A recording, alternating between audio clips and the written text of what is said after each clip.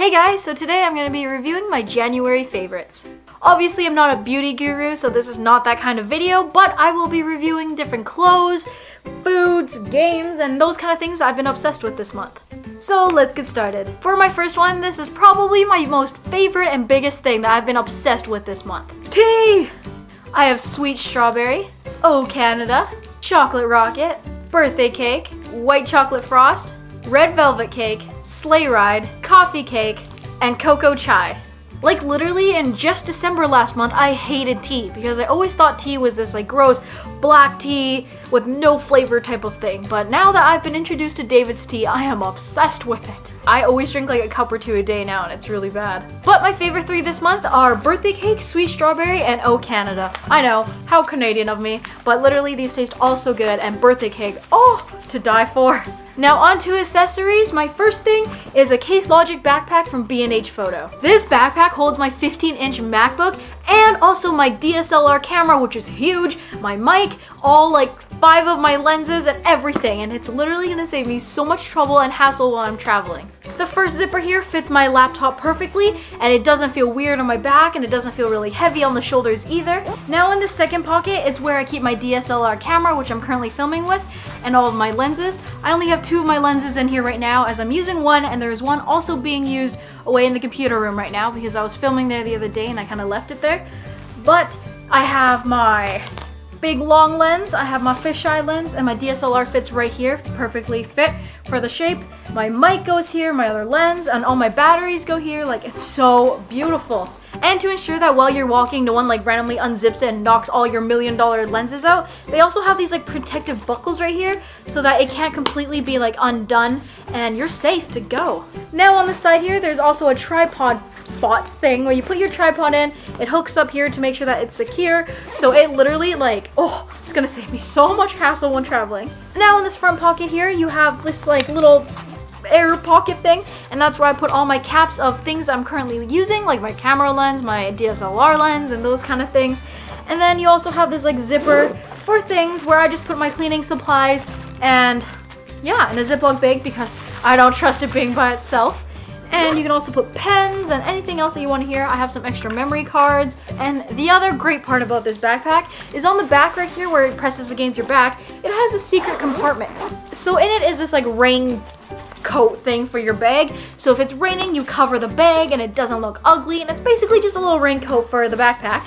And also, you can keep your wallet and phone back here so that like no one can steal it out of your back pocket while you're traveling. So I love that idea and concept. And oh, I'm so obsessed with this backpack. It's not even funny. I love you.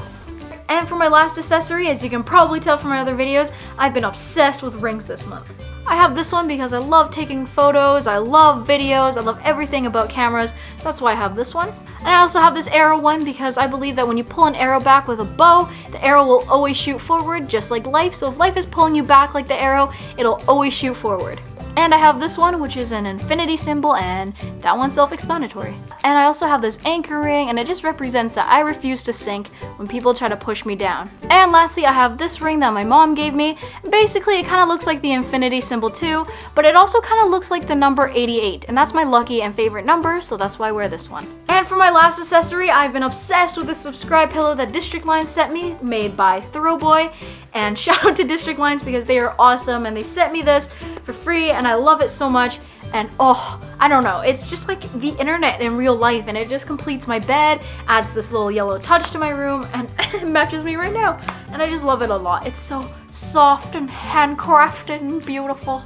And a game that I've been obsessed with this month is Telestrations. I actually really recently just got it, but I love it so much and it's actually like my new favorite board game. And basically it's like that telephone game that we used to play back in elementary school where you'd like whisper something to the person beside you and it'd go around the circle and by the time it got back to you it'd be like a totally different word. So this is basically that, which makes this my new favorite board game. So basically it's 4 to 8 players and everyone gets one of these notepads with a little whiteboard marker and the first person would draw a card, say we got this one, and say you have to draw lasagna. That's pretty tough. But fortunately for the first person, all they have to do is write lasagna in the secret word circle. I don't know if you can really see this. And then they'd pass it to the next person. The next person would have to try to draw lasagna here and then pass it to the next person again. But say that second person didn't draw really good and the third person thought it was like the ocean. So then they'd flip the page, write ocean, and pass it to the next person. The next person would then have to draw an ocean for the next person to guess, and you basically get it.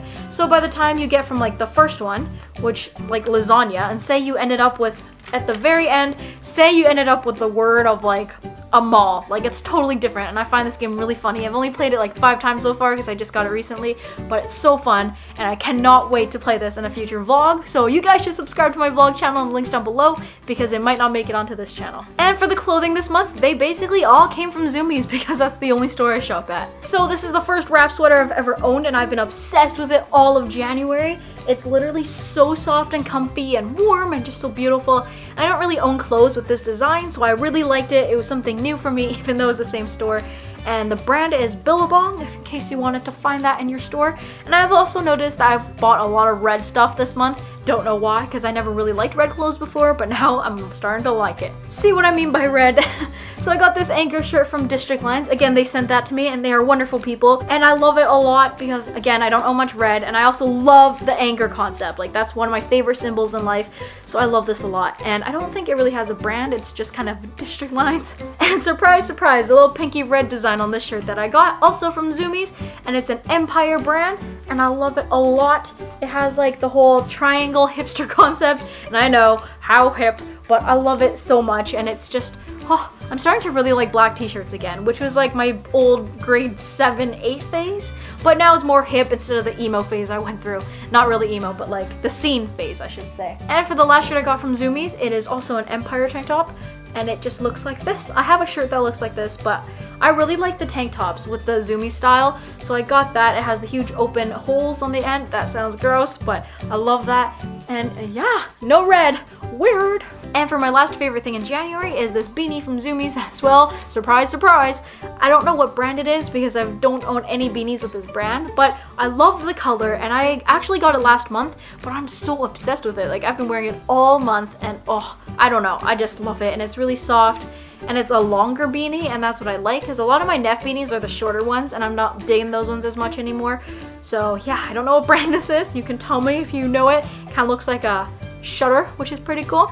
So yeah, so that is all for today's video. I hope you guys liked it. And if you like these kind of videos, give it a thumbs up and let me know so that I can make future February, March, April, May favorite videos if I have a whole bunch of stuff.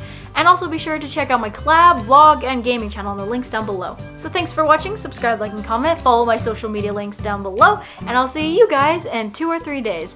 Bye!